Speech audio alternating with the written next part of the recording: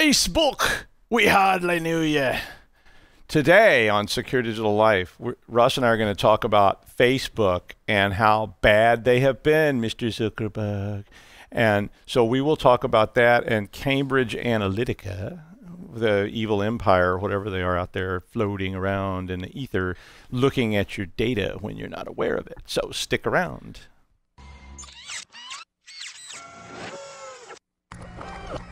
This is a Security Weekly production.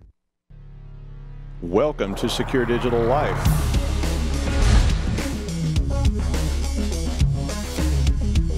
If your users are going to keep putting risky stuff on your machine, you're screwed. So, Top can help us understand the, the complexity of blockchain. I was reading through the show notes, man.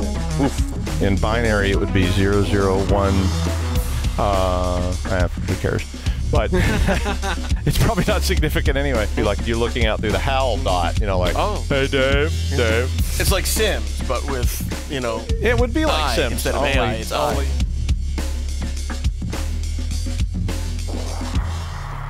Roger Williams University is a premier destination for cybersecurity, offering in person and online classes designed and taught in collaboration with industry experts. Using virtual environments that simulate real world systems, you'll solve complex cyber issues and analyze cyber threats to prepare you for in demand jobs in this rapidly growing field. Whether you're just starting out or want to advance in the cyber profession, RWU offers degrees and coursework at all levels. Learn more at rwu.edu/slash cyber.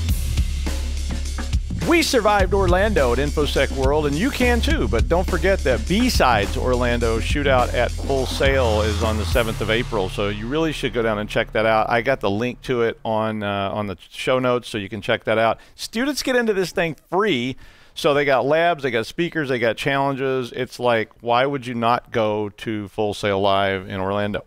I will be at RSA uh, in April, so I'm speaking uh, at 8 o'clock in the morning, which means that it will be more like, hello, good afternoon, uh, but on the 18th of April. So I will be there. If you're going to be there, be sure and stop by. I'm going to do a show from the NetSparker booth of, about uh, vulnerability scanners, so we can talk about that. But in the meantime, Facebook. Hi, Russ. Hi, Doug. How are you? I'm good. You're here. Russ is actually here, like in, in the real flesh kind of thing. I am. It's So- nice to smell your scent. Smells like Chicken, cheetah sweat. cheetah sweat. Yeah. All right. We're going to talk about Facebook, and, and this is one of those what a mess kind of things. Uh, Facebook's been accused of all sorts of things down through the ages, and, and yet again, despite their endless promises that they will protect your data, that they won't give up your data, they are in another jam. Uh, so Zuckerberg is on the hot seat one more time, going to testify to Congress. yeah, as of 20 minutes ago. Oh yeah, they just announced he's going to testify. I mean, this this is not him being charged with Right. anything. This is him giving information to Congress. But you signed the agreement. You clicked the box. You agreed to be part of a human centipede. What are you going to do? I better be on the front of that. Yeah, I only watched the first 15 The minutes of that movie. and I was like, segment, okay, I'm not. Mm-hmm. watching any more of this movie. Thank you very much. But but I mean, you did agree to it. So when you signed up, you clicked a whole bunch of boxes and you sold and you gave your data to Facebook and you said it's okay, do whatever you want. And guess what? They did. Zuck sold your data. I mean, he, he always intended to do it, and, and he did it, and he's been doing it all along, and they collect information about you. That's how they make money. I mean, did you think Facebook was just out there for fun? I mean, it's like that's why that guy lives in a giant mansion. Yeah. Hmm, I don't know. I thought Facebook was fun, but not anymore. Not after. and there's been two instances of the same, you know, the same analytics or data mining uh, company uh, affecting or, or using data for two different reasons. One was the 2016 Trump election, gathering info on what 50 million users, 50 million, 50 yeah. million users, and the other one was the the Nigerian uh, elections. The Nigerian prime minister fell recently. caught in a scam. Yeah. Hmm, imagine that. Mhm. But I mean, there's two things here. So there's there's one thing about Facebook selling your data. This is actually a different thing. This is about people mining data from Facebook. Uh, Now you gave permission for all this. You you you did. Uh, you may not realize you did it because you you had all these buttons that you click.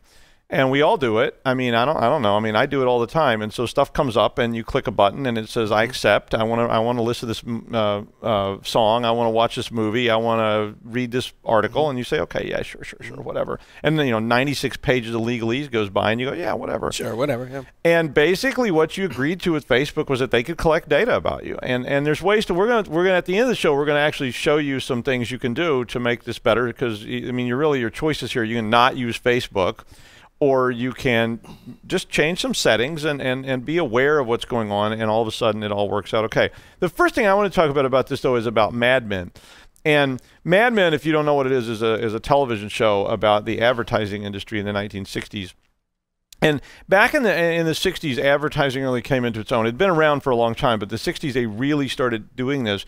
And Cambridge Analytica is all about this. So, so this is a firm in the UK, and what they do is they do big data analytics. Now, now this is like marketing plus. So marketing has always been around. From the very first time some caveman said, you know, if I paint these rocks a better color, mm-hmm. maybe you'll buy them. They're still rocks, but now I painted them a more, a more, you know, pleasing color. So somebody said, wow, those are better rocks than the rocks I can get over here. I mean, if you're going to go through the history of advertising, it is it is like absolutely astounding what you can get people to do, uh, and get them to buy things they don't need, convince them they need things they don't need, and convince them of things that aren't true. Mm-hmm. And this is from the very first snake oil salesperson who was riding into town and saying, you know Dr. Shams Cure All, loaded with opium, you'll feel better.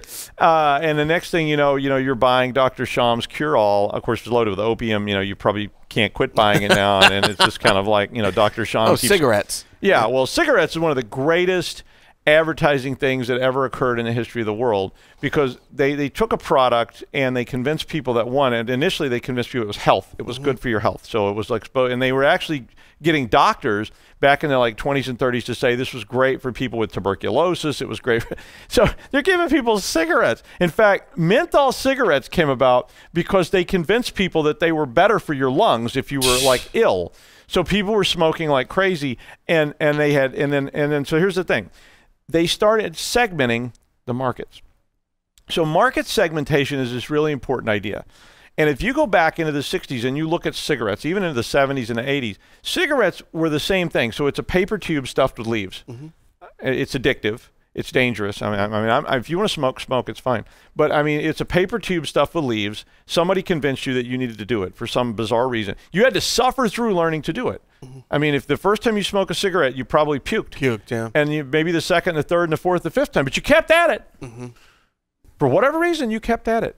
I mean, I mean, I did too. I because it looked cool. I quit smoking in 1986, but but I mean, I, I used to smoke. I smoked unfiltered Pall Mall cigarettes because Kurt Vonnegut smoked them, and and once you start those, baby, there's no going back. Um, but but the idea of market segmentation meant that there were cigarette brands that were targeted to different audiences. So Marlboro cigarettes is a very famous example mm-hmm. in marketing. Marlboro was originally targeted at women. Oh, wow. and uh, women didn't buy them. I don't know why, but they had a filter on them, and that was this new thing back then. And you know, they had this nice little asbestos filter on there that you know, but. Uh, women didn't buy them, so they rebranded them. They put a cowboy on the logo, and all of a sudden, they were these manly cigarettes that were associated with, you know, macho, the old west, you know. yeah, I'm tough. But I'm sorry, I, am to give smokers a hard time. But but the point is, is that then there were cigarettes like Virginia Slims that were marketed solely to women. So they put ads in women's magazines, and this is called market segmentation. Big data, which is what Cambridge Analytica is about, takes this thing to the max. So the idea came out of like a lot of big companies like Walmart and people back in the 90s started looking at we have all this data why don't we mine this data? Why don't we use artificial intelligence to mine this data? Because we might start learning about things we don't already know. I mean, they already knew about people who went and bought beer. Mm-hmm. They already knew about people who bought cigarettes. They knew about people who bought snowblowers or whatever. But now they're like, we have all this data from our cash registers because they, they collect all this stuff. They know what you buy. They know when you buy it. They were tracking where people bought it in the store, mm-hmm. how they walked through the store. But now we got the internet. And we have even more data. And we actually, with Facebook, started looking at what people like. Because you click like. you click on pictures, you type comments, you have friends, you have all these things, and this is just waiting to be bought, obtained, or scraped, or whatever you want to. Scraping is the term they use for like going out and collecting data on the internet, but it's usually more of an illicit kind of thing or just a collection kind of thing. Facebook was doing this legitimately, and they still are. You agreed to it, and you went in there and you set up your profile. You put a picture of yourself up, which is sort of self defining you then start liking things. So mm-hmm. you go to a page and you like a page about the Confederate flag. That says something about you, mm-hmm. right or wrong. It says something about what kind of person you are. Well, here's here's the other piece of this. There's a thing called the API. Application Programming Interface, for those of you that don't know. Well, the API is a library mm-hmm. of tools that lets everyone who wants to use a certain platform, whatever that platform is, share those tools. So they have those for games, they have those for Facebook, they have those for all kinds of things. So if you want to write an app for Facebook, mm-hmm. you use their API. Now there's other APIs you can use, but you use their API. Mm-hmm. Well, that API means that everybody who's using those two things can interact. Yep. So all of a sudden, there was a way for apps to collect information about you from Facebook because that app could just use the API to reach into Facebook and say, when is this person's birthday? Because if I have your birthday, I know how old you are. Yep. I mean, I and if you and then if I met and so here's my example of this. So I look up your birthday, easy enough to get, and I see what your ast. I, I hate astrology because I think it's silly, but but some people like it a lot. Um, I get your astrological sign, and when I get your astrological sign, what if I look at your Facebook page and I see that you also like all these astrology sites and all this kind of stuff? I actually know something about you now. I know about you personally. And this is a very simplistic idea. Mm-hmm. And I put that together and I say, well, this person's into astrology. They I know their astrological signs. So what if I put up a page that says, "Hey, Scorpios, wouldn't you like to subscribe to my site about healing crystals or whatever?" Oh. This is how big data works. It's creating market segments out of things that we don't know already exist. Right. So that's what they were doing on Facebook. So they were they were going in there to mine this thing, and they used the API. So what happened with with, with Cambridge Analytica was they went in, they jumped on the system, and they collected data from applications that were there collecting data about you from Facebook, from other applications, and from things that you shared with your friends. Mm-hmm. And by reaching in there and grabbing that information, they started building profiles of they went right back to marketing 101 they said what is our market segment? So i have a candidate i want to promote. I'm not going to talk about any particular candidates because i don't want to get into politics except for zoid why not zoidberg? I mean it's like come on. Um, but but but there were candidates and, and i'm and i'm not even going to accuse mr trump of anything here because all the candidates are doing this mm-hmm. so whether or not it's right or wrong i'll leave that for another kind of show but but the idea of it is let's go back to marketing 101 and let's say what type of people will vote for my candidate and you can put whatever candidate's name you want in here. You can put Hillary Clinton, Bernie Sanders, whatever. And we could probably start to guess what kind of candidate you would support. Now that means I can then reinforce that. Mm-hmm. I can send you ads for that. I can send you ads for Bernie Sanders and say Bernie Sanders wants you to do this. Bernie Sanders wants you to do that. So that's marketing one. Mm-hmm. Now, but take it further. What if I can also start looking at new market segments? Mm-hmm. Are there people in the marketplace who don't smoke? who don't support your candidate, who maybe there's traits that you could put together from known things and build a new profile. This is, I could get a new smoker. Because if I advertise in this magazine, you know, healthful living, uh, maybe I'll recruit some new smokers. Or better yet, uh, the Sesame Street Guide, you know, Big Bird smokes Luckies. um, but if I want to get you to support a candidate, I might need to reach out and figure out what kind of person you are. So now I can go on your page and I can go, oh, look at this. This guy has all these Confederate flags and all these NRA stickers and all these things. Maybe that candidate would support my guy. Okay, so that's two. One more. Three is how do I convert other people? How do I get people to support my candidate that might not have supported my candidate otherwise? Mm-hmm. And another thing that big data did for them was they started building profiles of what candidates look like. So if I figure out, and so my example then came back to, uh, I think I was using some stuff about sports, uh, which is never a good idea with me. But what if I went back to the to the candidacy and I said, people who like my candidate all support this one team people who like the other candidate support this other team. And so I get some memes of the other candidate and I put hats on them that support teams that nobody likes. and I say, you know, not only does this person support this these awful people down there in San Diego, they also support these people down in Mexico in the in the Mexican baseball league. And I put a hat on them and show them at a Mexican baseball game, which I don't think is a real thing, but but you know, regardless of that. But at the end of that, you could start to sway the way people behave by this. And this is all just marketing 101. I mean, this is literally Mad Men. It's right back into 1960. How do we manipulate people in many different ways to convince them they need something, even if the thing isn't even real? Uh, you don't really need it. And and another thing, Doug, too, in in, the, in Facebook, what you're talking about, what made it more sinister is that a lot of the apps that people download, like using Farmville or Candy Crush or whatever, opens up their other people's profiles, Right. Who who you're friends with or Exactly. friends with on Facebook. So that's they're they're not only creating new market segments, but they're using directed marketing to that marketing segment because they now have access to your friends and your friends' friends' information. and it becomes viral marketing in that same context because they, they try to spread that message from so they mm-hmm. take stuff off your page mm-hmm. and spread it to your friends via these other things and they're hoping that that same message then brings more people on board. So the first thing you ought to do in this whole mess is you should go to facebook if you use it and you should download a copy of your facebook data which is very and i put it in the show notes if you don't know how to do it. But if you click the little down russ is going to show you some of this stuff in a minute but i'll just you click the little down triangle go down to settings and, and just click download all your facebook data. So i went and did this. Um, I, I had done this before a long time ago but i went and did it again. I was I, again, I was just absolutely astounded by one how much incorrect information there was, uh, but also how much information there was. So on there, if I went and looked, they had my birthday, of course. Um, they had my wife's name. They had my father's name.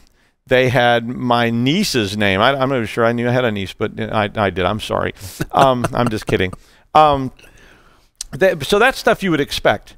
But then I started looking through it, and they had stuff on there. Like one of my favorite things on there, it was 158 megabytes of stuff that I downloaded. And um, one of the things that I thought was most amusing on there was they had my favorite athlete. And I was like, if you if you call me on the phone right now and you said, "Who's Doug's favorite athlete?" I would go, "Uh, I, I don't know any athletes actually." Um, it said my favorite athlete was Julia Mancuso. And I had to think for a minute, who is Julia Mancuso? She's a skier. And so she so I was like, well, okay, at least it's a skier. It makes kind of sense. Yeah. Um, Dr. Zoidberg was on my list of things. So there was actually a link to Dr. Zoidberg. They had books I liked, movies I liked. They had stuff I'd never even read that was on my list of books I liked, but they seemed like stuff I would probably, I was actually using it going, well, I should read that.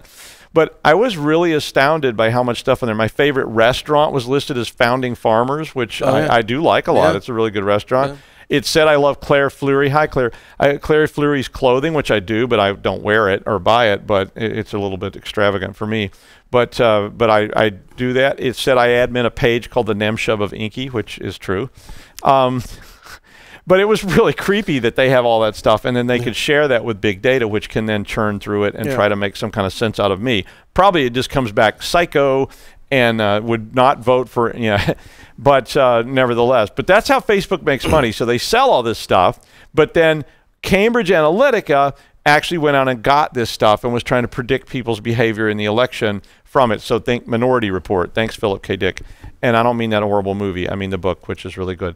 Um, but basically, at that point, if you're a member of the Firefly Firefly fan club and Oh, you I also am. subscribe to Buffy fan club, Yep. which I am, and you like Joss Whedon's page, which Oh, I yeah. do, Doctor Horrible. Yeah. well, all of a sudden, and this again, it's a very simple one, but it's like if if Joss Whedon is trying to do a new show and he's going to make a new show called Buffy the Reaver Slayer, um, to mix all that together, uh, it's pretty. Or I, I call it Buffy the Reaver Hunter was my title for it. Joss, if you use that, you owe me, man.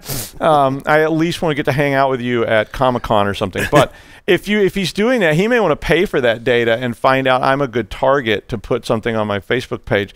And I don't really have a huge problem with targeted ads because I would much rather see an ad for Buffy the Reaver Hunter than I would to see an ad for something I would never watch in a million years. I mean, so at least that kind of targeted stuff is pretty good. But it's all kind of scary. But that's what they were doing, and they were, and, and, and were they trying to rig the election? I mean, this is this is a question that, that I've asked myself a lot everyone is trying to rig every election. I mean, I mean that's the bottom line. I mean, wh- I don't care who the candidate is. Every candidate of any stature has a marketing firm. They're hiring people to do social media for them. I mean, probably anybody that's like House of Reps up is got social media people that are tweeting, that Yep. are putting stuff on Facebook, on Instagram. They've got people putting up pictures for them. They've got probably got people out there liking stuff they put up so it has more likes and it gets pushed to the top. You can hire firms to push your stuff to the top of the Google search, to push your stuff to the top of Facebook, and on and on and on. And I think all of the candidates are doing that. Now, was this the more nefarious than that? There were there was a Canadian company mm-hmm. Cyber intelli- or intelligence IQ or something Yeah, like that. is what it's called. A- AIQ or something like that. Yeah. It's something like that. It was a Canadian company. Aggregate IQ. Aggregate IQ. Uh, in the Nigerian case, Black Cube from Israel was was involved in that. But I mean, all these people are not necessarily doing anything illegal. So a lot of people have been asking me, was this illegal? And I don't think it is. I, I think they were literally just using Facebook data in a way that Facebook intended it to be used all along, which was using the API to write an app to collect data. Now, some people feel like this is a violation of their rights, but you probably clicked it. And if you clicked it, then theoretically Facebook had. Now, Congress is saying they need to pass better laws. You know, for me, it's like there's an old thing in, in uh, Confucianism in China. And one of the tenets of Confucianism is that no law should be so complex that no one can understand it. That you need you every every person should be able to read the law. And if you go look at Chinese laws, like Chinese tax code, I brought a copy of it back to my wife one time. It's like a little pamphlet. You know, it's like pay your taxes this much. That's it. You know, U.S. tax code is like you know volume seven thousand four hundred and eight of series two. Uh, you know, the personal income tax. I mean, and it's like you need nine lawyers. And and and to me, if Congress really wanted to fix these things, they would pass a law saying that these these agreements that you agree to on your phone on online would have to be simple enough that an average person could understand it without an attorney present or without hiring a, a panel of, of college professors to write papers and treatises about what it actually all means. And until they do that, it's just going to continue because unless you want to read through 96 pages of legalese. Now, in the time remaining, which is not very much because I ran my mouth so long, Russ is going to show us how to see your apps on the on the actual system. So, Uh, let's cut over to the computer, please. The computer, Yay, please. here we there are. it is. And look, my magical Facebook page. Yay, pay no attention to anything on here. Uh, so if you want to take a look at some of your settings uh, and some of the apps that have access to your data, uh, we click on the downward triangle and we go right into settings here. Shazam. And then we're going to come down here to apps. Okay. And we're going to start up here uh, with app settings and logged uh, in with Facebook. So these apps are apps that I have used in the past uh, and uh, to log in uh, to using the Facebook. And let me show you an example here. Uh, where was that? Oh, yeah, you can book me. That's one. So I go to a website uh, and I don't want to bother entering in blah blah blah blah information here, so I just conveniently go to sign in with Facebook. Let's let's try that. All right, let's do that. Now, this is the key right here. See where it says you can book me will receive your public profile and email address, which uh, not terrible, right? Uh, but you can edit here. But let's not edit there. I'm going to continue as Russell, so I'm going to log in uh, to you can book me using my. Oh, they couldn't find it, which is probably a good thing. Probably a good Yeah. thing. Uh, but once you do that, and I think many of us have, they, they start appearing in here. And I went through this the other day and cleaned out a lot of junk. I must have had 250 apps that Yeah. I've that I've logged We in all do. before. Yeah. But what we want to draw your attention to here are things like uh, right here where it says security only me. See the uh, Adobe Photoshop? I must have missed this one. Look, it says for. Oh, no, actually, I undid it so that I could show you. See where it says friends? That means that any of my friends uh, have access or, or access to uh, the data associated with this particular app. So if I click on Edit Settings here, uh, what is it at? What is it looking at? It's looking at Public Profile. So it'll have my uh, information here uh, on my public profile. Uh, you see that that's required. Okay, Yep. so that's required. Uh, and then here's an interesting thing. It also has access. They also have access to my photos. All right, so that's pretty wild. What if I don't want my friends to have access to my photos? Well, I, I can uncheck that in here, or we can go through a few things later on. The app can post on my behalf, which I never think is a good idea. Um, manage my business. I don't even know what the heck that means. Uh, so let's uh, Let's go manage your Yeah, manage my business. Uh, yep, uh, manage my pages. Uh, as you can see, defaults all along. Right, I didn't Yep. change that. Uh, so anyway, uh, notifications and all that stuff. So I can save or cancel, but what I want to do is, at the very least, I want to uncheck the things that I don't want happening here. I don't want them to do any of this stuff. Uh, okay, that's fine. And I don't, uh, I don't, I usually don't ever want friends or anyone else for that matter to see anything um, that I do. So I usually click on only me right here. All right, and then so now only I can see those things or, or gain access to that data. Uh, and then now notice how it says only me right here. And if I click on edit, uh, you'll see that now everything else was unchecked and now it only has my public profile. For better or worse, that's what it is. So you'll see, and, and I bet you many of you who have used Facebook, I mean, I've used it for probably about 10 years now, I think. So I've collected a minimal amount of stuff, minimal, uh, because I don't play those silly online games, or mostly uh, silly online games or anything like that. That's But- what he says. See this words with friends here? I could have sworn I deleted that the other day, so yeah. I'm getting rid of it. I don't want anything to do with it. But when you do that, I also want to call your attention to this checkbox here. And this checkbox does not exist in every single app that you use. So you only see this in a few ones. I also want to delete all posts, photos, and videos on Facebook that Words with Friends has, um, you know, posted. All right, so I'm going to remove all of that, all that data, all of that information, because I don't have any interest in, in, in carrying that through. But So- be but be careful. Rem- remember that uh, when you do that, you are deleting a lot Yeah. of stuff. And if you delete all your stuff, you may lose things that you wanted to Exactly. keep. So so be careful and, Yeah. and just think a little before you panic and Yep. start. I mean, this stuff's been on there for a while. They already got your stuff, so you don't need to panic and just start Yeah. deleting everything wantonly because that's your inclination, or at least it was mine.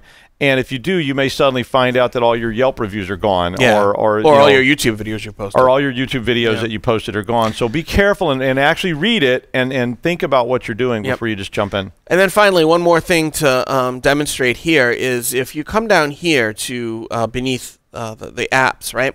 We're going to go to apps others use and click on edit and look at all of this data here. Now, yesterday, uh, it had Everything. a lot of this. oh, a lot. Yeah, it didn't have every. It, it, it probably did at one point, but maybe I was just smart enough to read, but not smart enough to do everything. Uh, apps other use. So people on Facebook can see your info. Uh, bring it with them. This is the key. Bring it with them when they use uh, Apps. specific apps. Yep. So I don't want that ever, ever, ever. So I uncheck all this garbage here, and and now going forward, um, moving forward, these these apps won't be able to do that. And then obviously hit save. Um, so that protects you heretofore, or, or for you know in the future. But heretofore, you're kind of screwed. Yeah, because your data's already been shared, and, Yeah. and legally, I would say, and I'm not a lawyer, so I'm not giving you legal advice, but basically, your data, the data that you've already shared, is already out there, and getting that back is going to be very challenging because they can say, well, you had approved it, you you changed that as Yeah. of uh, the 27th or 28th of March or whatever the day is. And as of that point, yes, they should not be using your data. But what you notice with that is it says they can they can carry it forward. Yep. So that means if you're friends with me and I download a game that uses an API to collect information, when I click that and I say you can also collect information about all my friends, it can collect your data too. And if you're and then it turns into friends of friends and all these other things and there's all these layers to it that's really tricky to sort of sort out. So a lot of people were saying let's just drop get rid of Facebook. I don't want to get rid of Facebook. I mean, I I use Facebook. I'm Yeah, not so like a huge Facebook Yeah. user, but I have a lot of pictures on there and all this kind of stuff. And and I and I like it. I mean, it's convenient to glance at every now and then and see what's going on with with people, but and could message people or whatever. But remember, there's a lot of information there, and there's also a whole thing about Android phones. Uh, Facebook Messenger on Android phones was collecting information from your phone, so it was actually Contacts. collecting contacts and all kinds of information. And again, you agreed to it, but you may not have realized you agreed to it. And it was actually then uh, that information was being collected by Cambridge Analytica as well. And they dump all this into their AI, and their AI starts churning it, and it starts looking for trends and patterns. And again, it's not necessarily a bad thing, but it, but it gets really back to Minority Report. So the basic idea of Minority Report was could you prevent crime by predicting the future? So they were using this sort of whole thing with these people that could see the future, kind of, which is silly. But, but I mean, if you could just predict the future with statistics, so if I could predict based on your Facebook pages that you're going to do something bad, should I go out and arrest you now and prevent you from doing that thing, or let you go ahead and do it and then arrest you? And that was the essence of Minority Report. And so that's kind of what this the scary part of this whole AI churning data kind of thing is: is that do, do people start predicting your behavior, and if they can predict it, maybe they start reinforcing it and it turns into the bubble and the echo chamber and all this stuff that we have. And, and we saw that during the elections. So there's now evidence that, and again, this is no no uh, uh, assault on anyone about it being illegal or anything, but there's a lot of evidence now that during the election, these firms were indeed manipulating people with information, and they were sending out viral memes fake memes, et cetera, et cetera, et cetera. And, and, and, and, on all sides, uh, this is going on.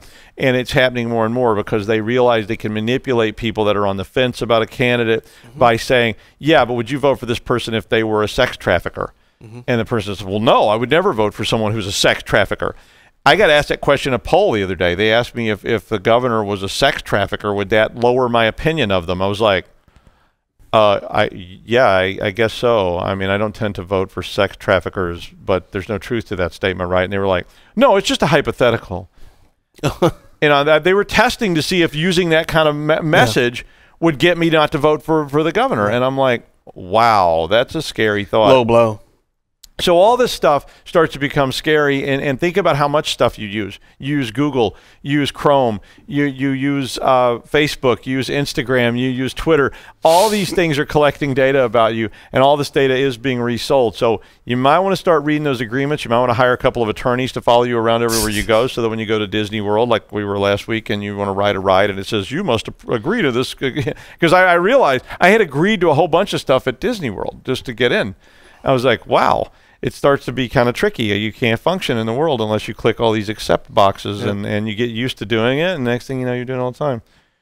What do you think? You're gonna you're gonna yeah. quit using Facebook, Russ? I'm just not gonna go to Disney. He's not going to go to Disney. Yeah. And no, I'm not going to quit. Facebook. You're going to go to Euro Disney. Yeah, I am going to Euro. Well, my, yeah, my family's. Yeah, well, you know, you don't even know what you have to give up to go to Euro Disney. Oh, let me tell you, because that's in France, and we all know. Yeah, okay. I, we're all we're all going to be in France this summer. We'll do a show there too, maybe. yeah, that would be. Yeah, we'll find a place to do. Okay, it. well, thank you. Next week, what we're going to talk about is building virtual lab environments oh, to cool. practice with, because several viewers have requested that uh, content. Mm-hmm. So that'll be on up next week. Love it. Uh, keep those cards and letters rolling in about requests requests. We get quite a few now, and that's awesome. Thanks for watching SDL, and we'll see you next time. Thanks, guys.